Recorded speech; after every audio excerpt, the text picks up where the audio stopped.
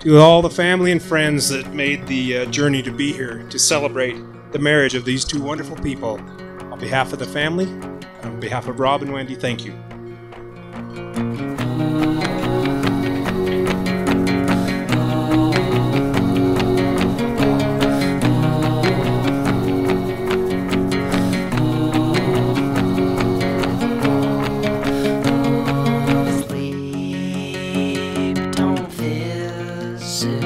So I choke on sun.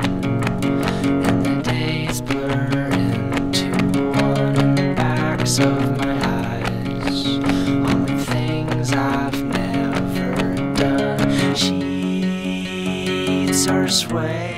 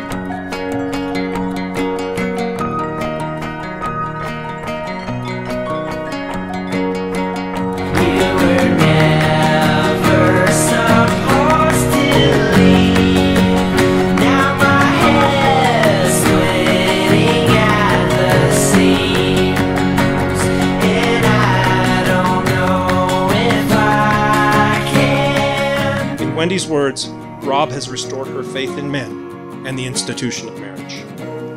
Quiet, classy, beautiful, gorgeous, put together, shy, pretty, honest, compassionate, my best friend. These are just a few of the words that Rob shared with me as it relates to his feelings for you, Wendi, by the power vested in me as an ordained minister as recognized by the state of Idaho and the county of Bear Lake. I now pronounce you husband and wife.